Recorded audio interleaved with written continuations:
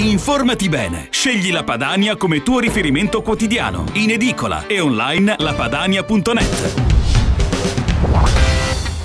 Primo giorno del 2014, bentrovati a tutti a Prima il Nord. Nell'appuntamento di oggi il governo ha tradito il Nord. Nessuna fiducia Letta. Governo tradisce il Nord. IVA aumentata al 22%. Disoccupazione giovanile al 40%. Ogni giorno mille imprese chiudono o delocalizzano. Pressione fiscale al 68%.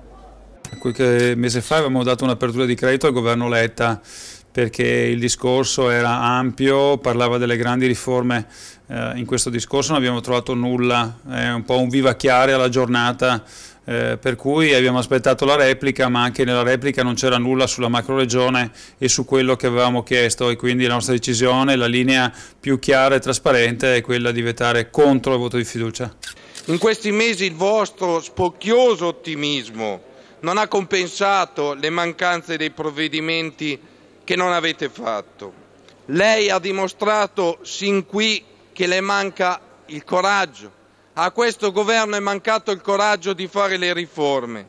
Vi siete dimenticati di imprese e imprenditori, delle attività produttive, delle famiglie, dei disoccupati, dei giovani e persino dei comuni e degli enti locali. Non vorrei che lei continuasse su questa strada, cioè la continuità del governo Monti, quello dove gli imprenditori si sono suicidati e dove un suo ministro riesce ad andare in aula alla Camera a litigare con i parlamentari sulle crisi economiche che ci sono nel Paese, ma magari fosse un litigio solo con i parlamentari dell'opposizione, ma anche con quelli della maggioranza.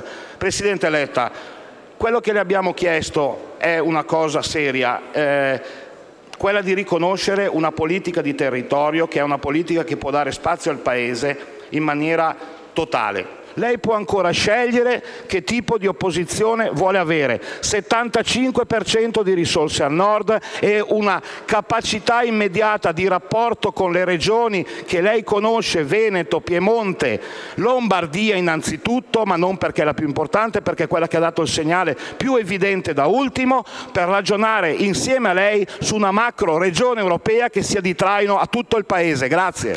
Presidente, con tutta la buona volontà, noi pensiamo che questo Governo, per mille ragioni, non abbia più alcunché di positivo da dare a questo Paese e pertanto ragionando razionalmente, come fa quell'imprenditore, ma con grande amarezza, pensiamo che sia meglio staccare la spina e ridare la voce al popolo sovrano. Grazie.